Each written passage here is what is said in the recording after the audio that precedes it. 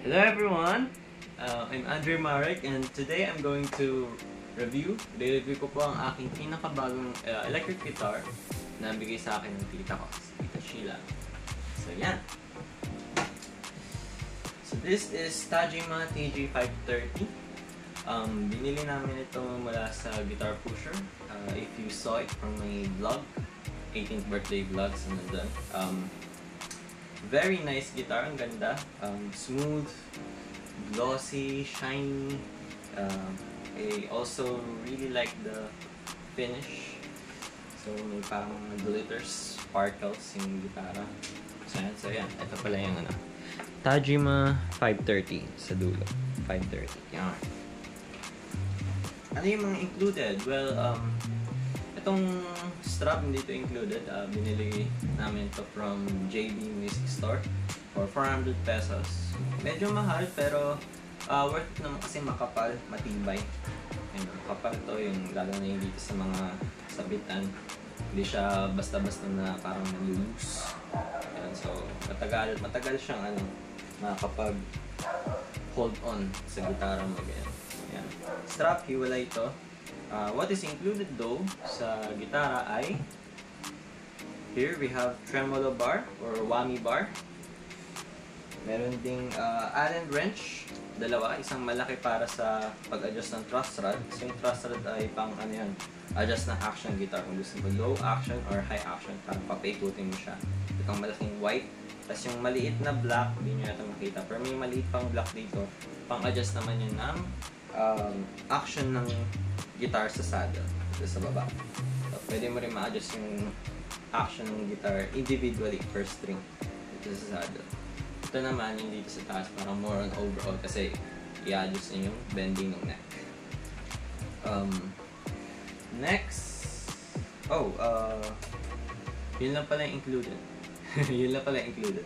So overall, yung gitara ay 8,900 pesos kung curious kung magkano yung gitara. Nandun lahat. Uh, yung ano, whammy bar, pang ano, pang adjust ng actions, truss rod, and uh, Allen wrench. So, uh, let's look into the details. Mayroon pala silang getong parang tag. Cute nga yun, cute na design, parang uh, Hawaiian. ang cute. Ganda ng, ganda ng design. So, ang ang details ng guitar nito ay ang body niya, ang body ay made out of this, yung may kulay blue, light blue or I'm not sure kung light blue ba to or blue green. Light blue, blue green. Uh, gawa siya sa basswood or basswood. Um, neck, itong buong neck na to, yung kulay brown, na kulay wood talaga ay gawa sa maple and I really like the maple wood. Um, very smooth. Hindi hindi ka, hindi masusugatan yung kamay mo pagka kunyari nag fast fret changing ka. Since smooth talaga and mat matibay talaga. Um, and also, ano pala to? 22 frets, guys. 22 frets. So, ang daming frets. Uh, kulang lang siya ng dalawa para 2 octaves. 24 frets. 12, tapos another 12 sa mataas. Pero, overall good na rin. Um, for its price, 8,900 lang. Um, nut, 43 millimeters. Yung length yata ng nut. Or, length ba ng nut? Or yung width ng nut? I'm not sure. Uh, pickups, tatlong Tajima single coils. So, puro single coils ito, walang humbucker. So, SSS. Uh, controls. So, here we have um, five-way switch between the pickups, three pickups. Wait lang, explain ko mamaya kung paano gumagana yan. And we have three knobs. So, yung isang knob here ay para sa overall volume ng gitara mo pag sinaksak mo sa amp or sa speaker. Uh, yeah makakontrol mo kung gaano kalakas. And two tone knobs. So yung tone knobs, from what I've heard is, ang nakakontrol nitong isang knob, yung parang mas mataas, mas upper tone knob, yung neck pickup. Yung ito namang pangalawa, nasa pinakababa, ang nakakontrol niya yung middle pickup. While yung bridge pickup, uh, hindi mo makakontrol yung tone niya kasi naka-fix na siya. Fix na siyang parang crunchy, full, full sound din, full sound. Parang iba't ibang ano. So, depende sa'yo kung anong genre ang gusto mo.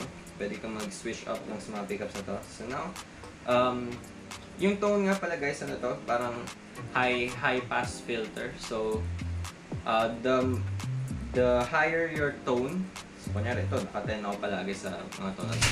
Sabihin nun, lahat ng frequencies na kayang i-pick up ng pickups nyo ay ay inaano niya, ina-output niya. While kung naka, yung naka-lowest, naka-1, naka-1, parang ano lang, uh, konting frequencies lang or na-filter out na yung the rest ng ibang frequencies na pwede niya ma-pick up. So, experiment lang kung ano yung type niya. Ako kasi type ko lahat naka, ano, lahat naririnig, lahat ng frequencies yun yung type ko. Parang medyo bright yung sound. Kasi parang medyo, parang sad sounding kasi or or parang medyo uh, ano ba, scary, horror, kung naka-one lang yung tone knobs. So, yung five-way switch. Pag yung switch mo ay nasa pinaka uh, top, parang pa pataas, that is uh, neck pickup. So, neck pickup yung activated dyan. Bring it one step down, parang nasa gitna ng ng ano, ng ano ba, 12 o'clock tsaka 9 o'clock. So 9 o'clock, uh, level 9 o'clock. Pero yung pinaka-top ay yung neck pickup. Ito naman, yung next step down is pinaghalong neck and bridge, ah, and bridge, and middle pickup. Gitna, gitnang setting ay middle pickup lang. Itong next step down is pinaghalong middle and bridge pickup. And last is pure bridge pickup lang.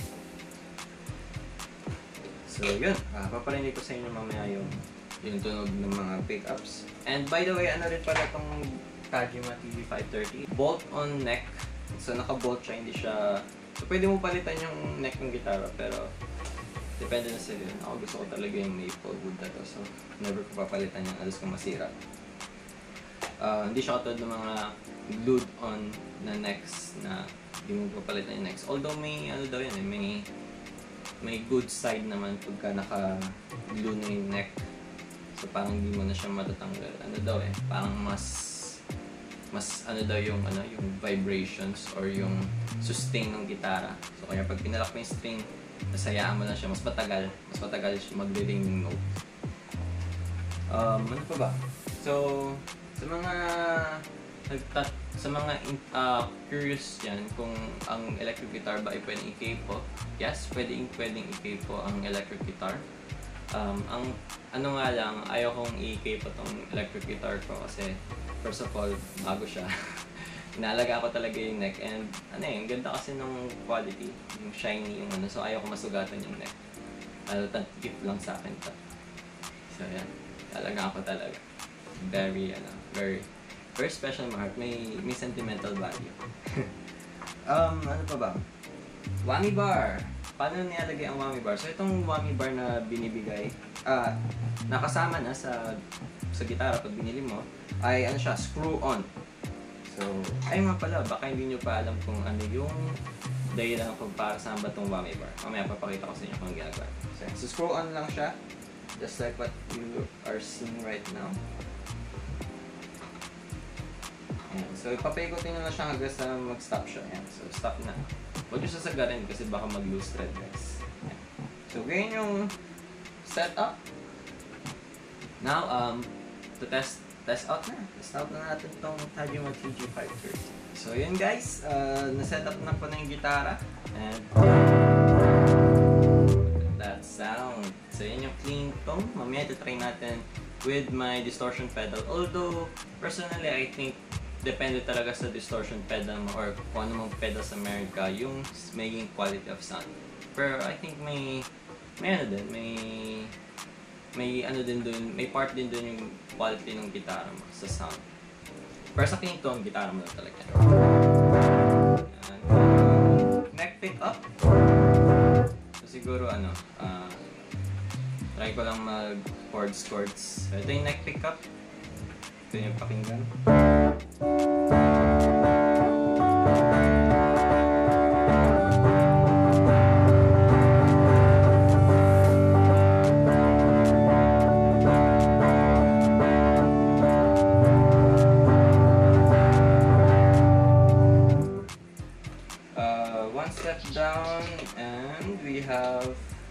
50-50, 50%, 50% neck and middle pickup. So hindi siya parehas full power. Parang pinaghalong 50% ng dalawang pickups na.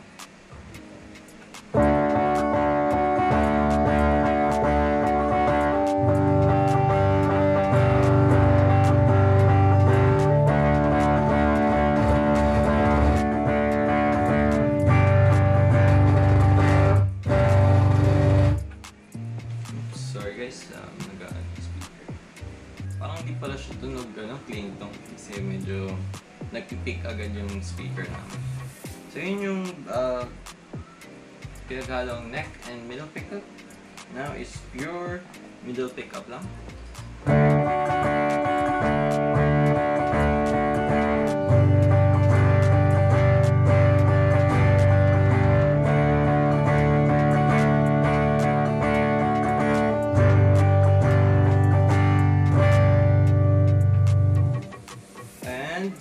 Middle and bridge pickup.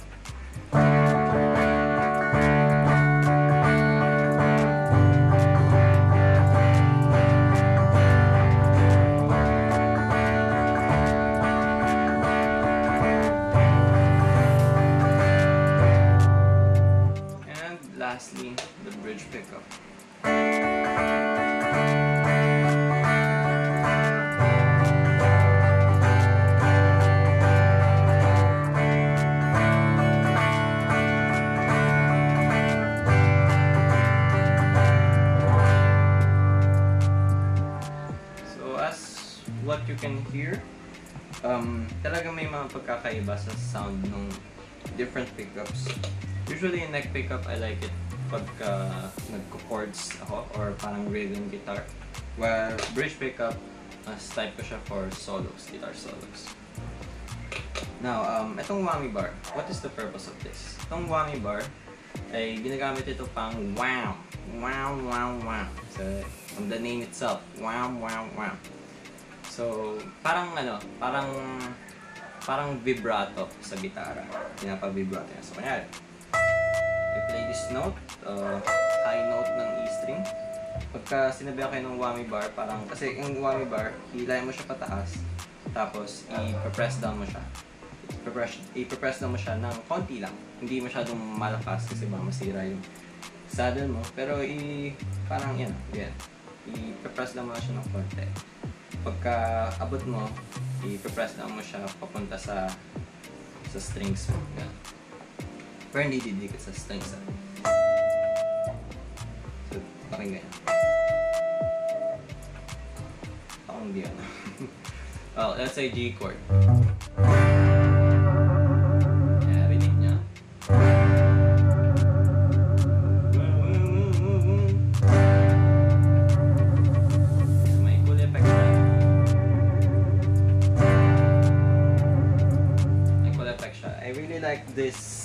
Whammy bar pagka may mga pakulot-kulot yung guitar solos. Like, um, for example, Pasilyo. So, yung Pasilyo guitar, yung intro nun ay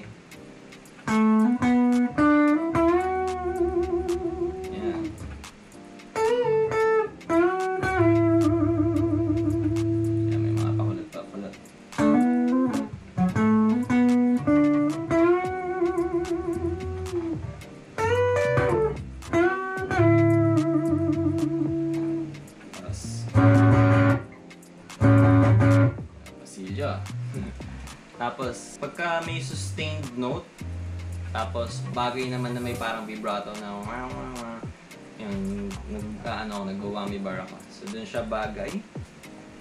Ah, like sa ano naman, ah, kunyari, may distortion. Yung sa cover ko ng pagsama. Yung guitar solo dun, ginagamit ako ng whammy bar pagka may konting sustain yung note sa guitar solo. So, ito, gamit ko ng bridge pickup. So, type ko dito bridge pickup. So, it's like this.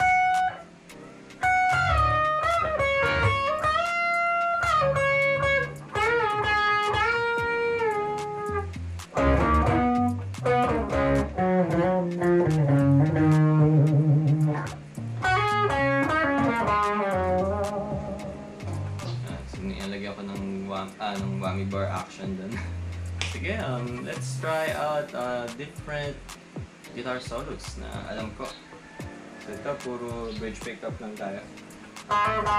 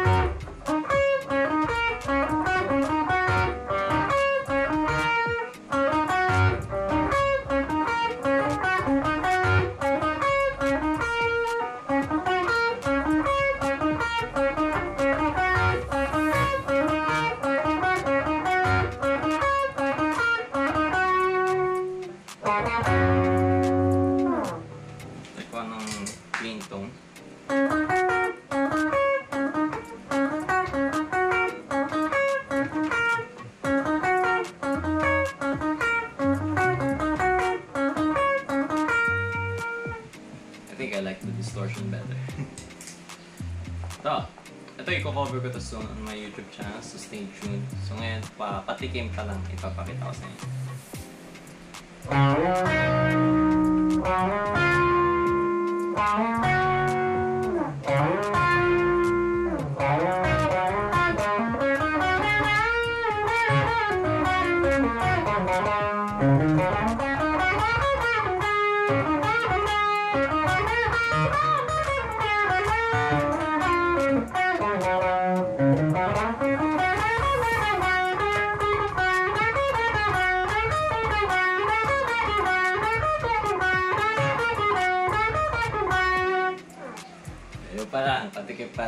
Tuned guys. Uh, al- sa tingin ko, alam niyo yung kantang yun. Napakasikat talaga nun. Galing-galing nila. Ang banda. Four Spades. Galing. Idol. Mga idols ko. Uh, si Blaster Silonga. Yan. So yun guys. Um, ang ganda ng guitar na to. Um, for a budget guitar, mura-mura na. 2,900 pesos ay it gives you all that you need para sa para sa ano pag-aaral ng gitara kung gusto nyo mag-start electric guitar journey nyo. Uh, definitely should be on your list kung ng mga ito tries of course may mga iba pa dyan magaganda din pero hmm, malay nyo. Malay nyo ito, ito rin magustuhan nyo di ba? So solid na solid na to guys. Uh, for me I'll give this a rating of mataas 9 hindi 10 kasi hindi pa sure kung ano pa mga future electric guitars sa mahawakan to. Baka masyadong mataas yung 9. Pero overall 9 kasi ano, I really like it. You know? Hindi pa kasi talaga nakaka nakakatry ng maraming gitara. So I cannot say 10. hindi ko pa siya makakompare. So yun. This is Tajima TV530. Thank you for watching my review of it. And I'll see you on my next vlog or next uh, song cover guys. Bye-bye!